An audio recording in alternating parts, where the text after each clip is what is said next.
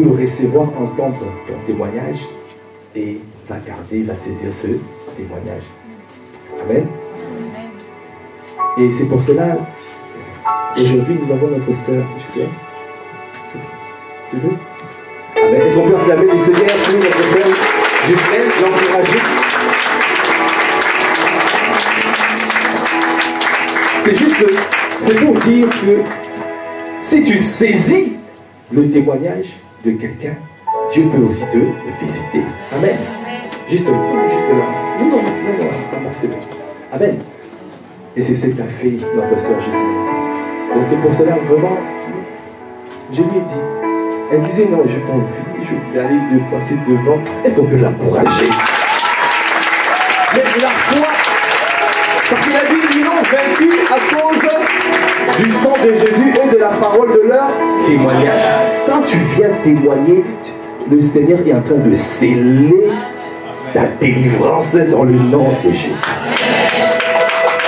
Alors, on va simplement l'écouter quelques instants. Amen. Merci, je suis si tu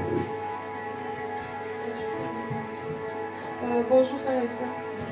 Vous m'entendez? Oui. D'accord. Euh, D'accord. Euh... Bon, je vais pas... Euh, Mon témoignage est le suivant. Euh, en juillet 2021, juin juillet, j'étais allée pour un contrôle gynécologique euh, de routine en fait. Et quand j'ai fini, il y a ma gynécologue qui m'a demandé si j'avais la thyroïde. Je lui ai dit non, donc elle a prescrit euh, une ordonnance que je vais faire une radio. Et la radio a, dé- a détecté que j'avais la thyroïde et j'avais des nodules, plusieurs nodules. J'avais 13 nodules qui étaient vraiment dans toute la gorge. Et celui qui a fait la radio a demandé à ce que je laisse, après deux ans, puisque j'étais pas il dit je suis pas trop âgée, donc après deux ans, on allait voir si on devait enlever. Il a dit ok, donc quand j'ai ramené le résultat au docteur, elle, elle m'a euh, elle m'a dirigé vers un autre spécialiste et lui, il a demandé à faire euh, des examens poussés, de faire des fonctions, tout ça. Et en novembre, décembre 2021, je suis allée faire les ponctions et la ponction a détecté qu'il y avait une nodule qui était cancérig- cancérigène. Donc, euh, il fallait pousser les dents. Il voulait que je fasse euh, des ponctions chaque fois sur chaque, des, chacun, chacun des nodules pour savoir s'il n'y avait pas d'autres cancers. Parce qu'il disait s'il enlevait, ça risquait de revenir si on ne savait pas c'était quoi. Et en temps, il me prescrivait des médicaments de quelqu'un qui avait le cancer pour suivre euh, le traitement, tout ça. Donc euh, moi, je ne prenais pas le traitement. Je ne prenais pas le traitement parce que dans ma tête, je refusais que j'avais pas le cancer. Et je n'ai parlé de ça à personne. Ni à ma mère, ni à mon mari, personne. J'étais là et je vivais le truc avec Dieu. Donc euh, après, on a fait la dernière ponction. C'est faite en février, février 2022 et la ponction a détecté qu'il y avait maintenant trois qui étaient cancérigènes. Donc chaque dimanche quand je revenais, bon, je, depuis le corona, tout ça, je suivais les cultes en ligne. Et je sentais le désir de revenir vraiment en présentiel, tout ça. À partir de 2022, j'ai dit il faut que je revienne en présentiel. Et je suis partie à Boissy, mais c'était vraiment trop loin. Donc euh, je cherchais et j'ai trouvé ici. Je pense que c'est mon quatrième dimanche, troisième dimanche aujourd'hui. Et chaque fois que je venais, quand le pasteur prenait la Sainte Seine, il disait que où tu as mal, il faut mettre la main là et tu pries, tu te dis que c'est le sang de Jésus, tout ça. Donc euh, je mettais la main, j'ai mal au- à la, à la gorge et à mon rein. Donc je mettais à mon dos, je mettais la main là et je priais, je priais. Et le dimanche dernier, il y a le pasteur qui, quand le pasteur, la dame qui rendait le témoignage, le pasteur rendait le témoignage de la dame qui avait le cancer, qui n'était pas normal. Et j'ai saisi en tout cas cette parole, la guérison de la dame, et j'ai dit que moi aussi je suis guérie.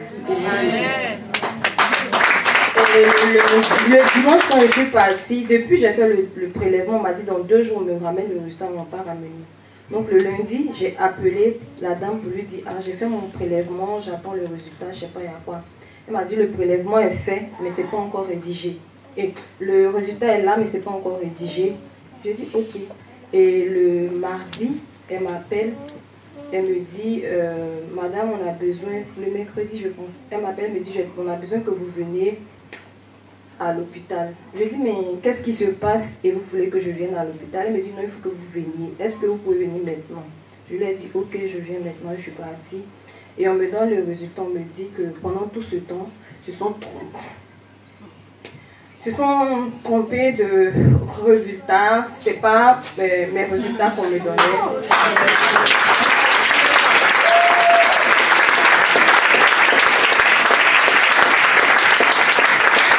pas mes résultats qu'on me donnait, que c'était les résultats de, je sais pas, de quelqu'un d'autre, mais c'était pas mes résultats. Et ils ont même, le même jour, ils ont fait une ponction d'urgence pour, reconfirmer et ils ont dit que j'avais pas de cancer, que c'était juste une thyroïde normale qui était là,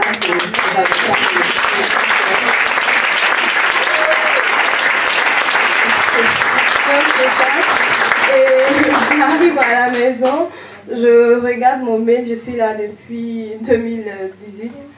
Je cherche du travail, je ne trouve pas. J'ai passé tous les masters que je pouvais passer de ma vie, je ne trouve pas du travail. Je, je disais à Dieu que le premier entretien que moi je vais avoir de ma vie, en tout cas, ça sera je serai embauchée quoi, parce que je ne veux pas passer dans tout un entretien. Je viens, je reçois un mail, on me dit félicitations, vous commencez le 1er avril.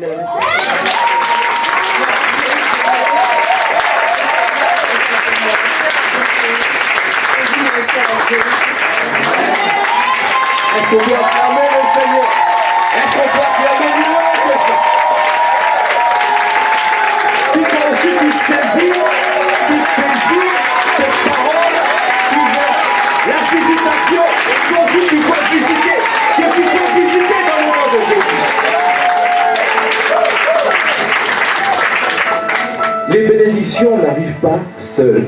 Il y a toujours des cascades de bénédictions qui arrivent. Le même jour, le mercredi, Dieu est bon. Le, le Némi, il est méchant.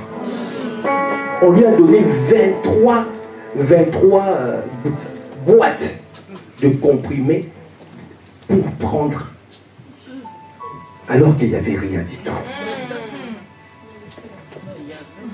Il y a des choses comme ça, quand tu acceptes, tu deviens malade. Tu commences à, à, voir, à développer vraiment ça. Mais c'est un mensonge bien Le temps sont mauvais. Rachetons le temps. Amen. Et comme les bénédictions n'arrivent pas seules, le même jour, la sœur Jocelyne m'a dit, non, elle a fait des entretiens.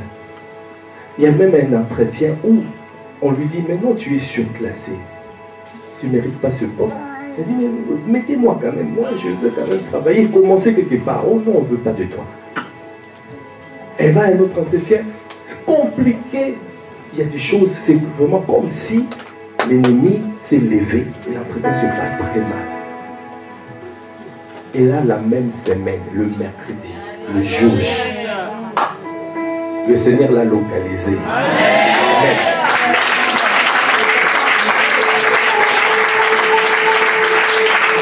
Et je me suis souvenu, je lui ai dit, mais Gisèle, je me suis souvenu dimanche passé, nous avions prié à la Sainte Seine concernant les, les mains. C'est ça. Le travail, les activités, l'activité. Quand le Seigneur localise, va te localiser. Là où on ne te prenait pas, on te prend. Alors nous bénissons le Seigneur. Elle est délivrée de cette angoisse. Tous les jours, tu sais, cancer, et depuis 2018, elle n'a jamais réussi à trouver de travail. La même semaine, elle a eu deux victoires. Est-ce qu'on peut acclamer le Seigneur? On ne pouvait pas passer à côté de ce témoignage parce que c'est très important de témoigner. Si nous pouvons, c'est juste tendre nos mains vers Jésus. Merci Seigneur. Merci pour l'œuvre que tu as commencée dans sa vie. Ce que tu as commencé, achève-le. Tu es à l'alpha et tu es l'oméga. Nous scellons cette guérison et nous scellons toutes ces victoires par le sang de Jésus et au nom de Jésus. À toi l'honneur, la puissance et la gloire dans le nom de Jésus. Amen. Amen.